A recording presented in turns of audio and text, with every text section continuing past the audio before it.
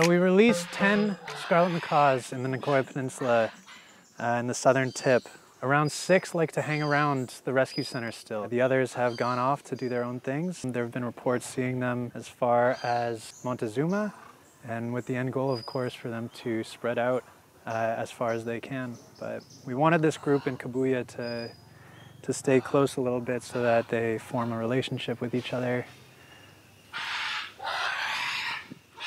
We've had four babies, uh, one who's already left the nest, another one who will be joining uh, them in their new enclosure, another juvenile, and then we have two babies that are siblings and they're being raised together by some really impressive parents. Uh, we're given a very impressive protocol from our partner organization, the Asoprolapa.